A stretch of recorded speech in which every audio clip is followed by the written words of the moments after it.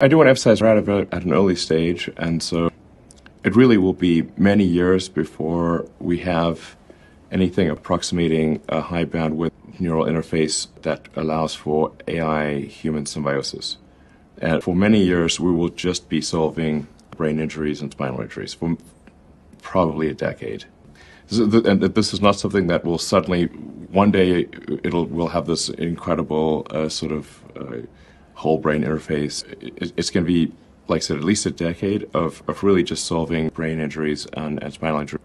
And, and really, I think you can solve a very wide range of, of brain injuries, including severe depression, morbid obesity.